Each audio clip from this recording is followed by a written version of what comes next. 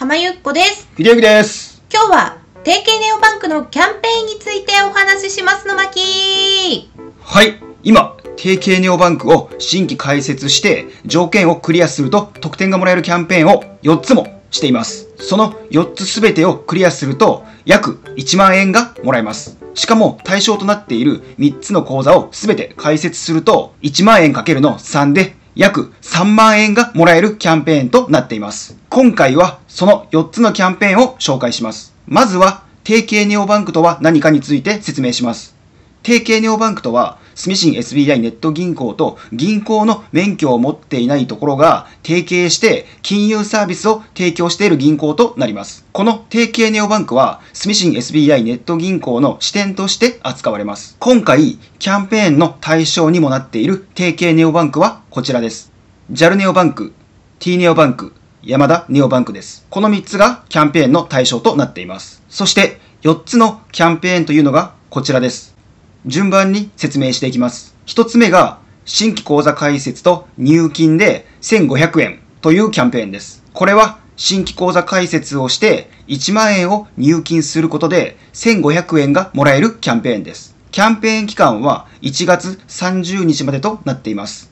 以前、こちらの動画で詳細を説明しました。もしよかったら見てみてください。そして、二つ目が、円定期預金1ヶ月もので金利20%キャンペーンです。こちらは、1ヶ月預けると金利が20%つくキャンペーンとなっています。上限は10万円までで、上限の10万円預けると1ヶ月で約1300円がもらえます。キャンペーン期間は1月9日までとなっています。以前、こちらの動画で紹介しました。興味ある方は見てみてください。そして、3つ目が、円定期預金3ヶ月もので金利3%のキャンペーンです。こちらは3ヶ月預けると金利が3%つくキャンペーンとなっています。上限が50万円で上限の50万円まで預けると3ヶ月で約3000円がもらえます。こちらのキャンペーン期間も1月9日までとなっています。ここまで紹介した3つのキャンペーンは比較的簡単かと思います。少しややこしいのが4つ目のキャンペーンで対象視点限定ネオネオ紹介キャンペーンというものです。キャンペーン期間は1月30までとなっています。紹介キャンペーンと書いてるんですけど、やるのは紹介とかではなくて、お金の振り込みをし合うことになります。お金を振り込み合う必要があるので、まあ、それで実質的に紹介することになるという意味ですかね。振り込みをし合う必要があるので、家族など知っている人とやるのがいいと思います。それではこちら詳しく説明していきたいと思います。特典が2つあります。特典1は新規開設された同一支店に3万円以上振り込むと2100円もらえます。そして特典2は新規開設された同一支店で3万円以上受け取ると2100円もらえます。合わせて4200円もらえます。ちょっとややこしいと思うので、もう少し詳しく説明します。T ポイント支店を新規開設したとして説明したいと思います。新規開設した口座に同一の T ポイント支店から振り込めば、振り込んだ側に特典1の2100円がもらえます。そして、振り込まれた側に特典2の2100円がもらえます。振込先が新規開設した口座であれば、今回のキャンペーン期間外に開設した口座から振り込んでも大丈夫です。新規開設した口座から振り込んだことで特典1の2100円がもらえます。この時に振り込み先が新規開設した口座だと振り込まれたということで特典2がもらえます。開設済みの口座に振り込んだ場合は当たり前ですけど、開設済みのため特典にはもらえません。うちの場合だとどうなるかを見てみたいと思います。僕は3つの定型ネオバンクを開設しています。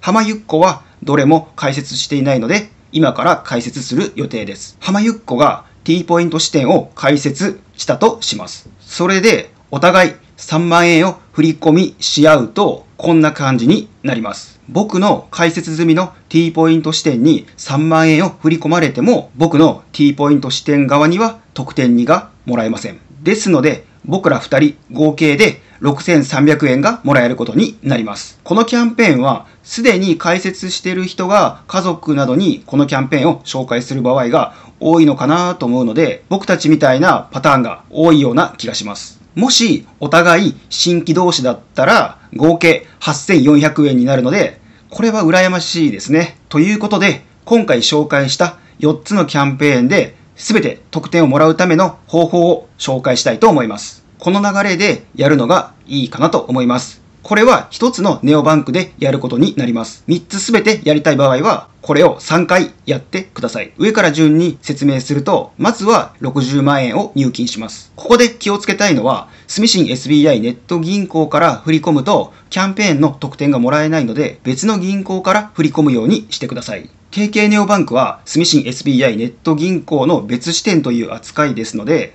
例えば、山田ネオバンクから T ネオバンクに振り込むというのもダメです。そして、同一支店に3万円を振り込みし合います。あとは、1ヶ月ものの円定期預金に10万円、3ヶ月ものの円定期預金に50万円を預けて完了です。ちなみになんですけど、僕らは3ヶ月ものの円定期はやらないでいいかなと思っています。理由は、預ける期間が少し長いのと、金利がちょっと低いかなって思うからですね。ですので、僕たちの場合は、最初に10万円を入金しようと思っています。これを3つのネオバンクでやる予定です。今回のキャンペーンをやろうかなと思っている人は、早めに作った方がいいです。理由は、口座開設までに少し時間がかかるからです。特に、JAL ネオバンクは開設までに2週間くらいかかります。僕の場合は2週間だったんですけど、Twitter とか見てるともっとかかったっていう人もいるので、JAL ネオバンクは特に早めに作った方がいいと思います。ヤマタネオバンクは僕の場合は次の日には開設できました。T ネオバンクは2、3日後くらいに開設できたと思います。ちょっとやるのはめんどくさいんですけど、3つのネオバンクの口座を開設して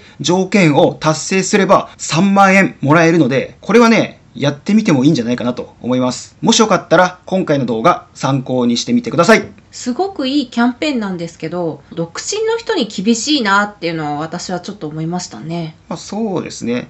まあそういう人はね、親とかとやったらいいんじゃないですか？まあ確かに。うちの親だと、こういうの嫌がりますね。お願いすると、えー、めんどくさいみたいな感じで言われてやってくれないんですよ。自分の結婚してる相手とか、もしいたらやりやすいですよね。まああとは友達とかにお願いするとかですかね。ちょっとハードル高くない、うん、まあそうやね。